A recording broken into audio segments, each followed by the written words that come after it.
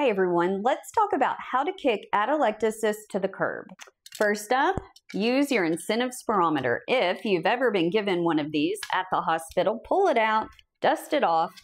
Um, make sure that everything is, of course, nice and clean. You don't want to um, use something that's been sitting in a closet for two years, obviously, without cleaning it. But anyway, um, this part can come off. You can soak this in water, let it air dry, um, just warm, soapy water. Now, if you've been told that you have atelectasis and you do have an incentive spirometer, that is going to be the best thing that you can do to treat the atelectasis. And that's because the incentive spirometer forces you to take a breath in from the bottom to the top. So you're filling up down here from the bottom, like I said, up to the top. So I'm going to demonstrate when you use the incentive spirometer, you need to make sure that the blue dot stays in between the arrows. That means that you're pulling it in from the bottom. If you do it quick, it'll fly to the top and you're only getting air in this part of your body. Okay, so I'm going to demonstrate. Exhale completely. And I'm going to inhale.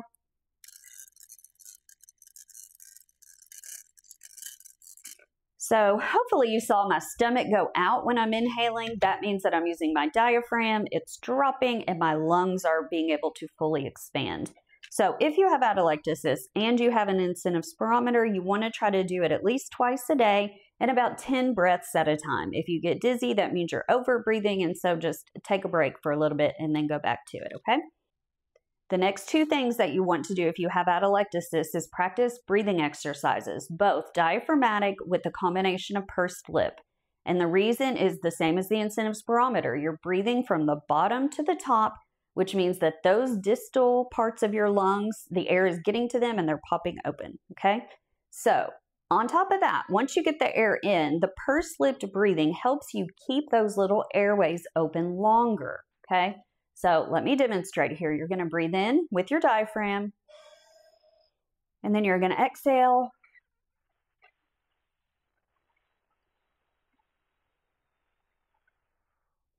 You really have to pay attention to the exhale. You don't want to just all willy nilly just blow it out. Okay, that's not going to keep your airways open. It has to be slow and controlled. So I'll do it again. Inhale, exhale,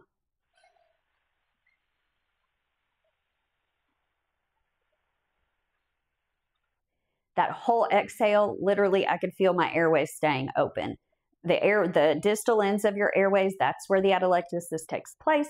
So that part is really important. If you have any questions, just drop them down in the comment section. I have lots of videos on exactly how to do diaphragmatic breathing, pursed lip breathing, and I have videos on exactly how to use this thing. So um, I encourage you to look at those if you have any questions, but if not, drop them in the comment section. And as always, Share this with anyone you think may benefit.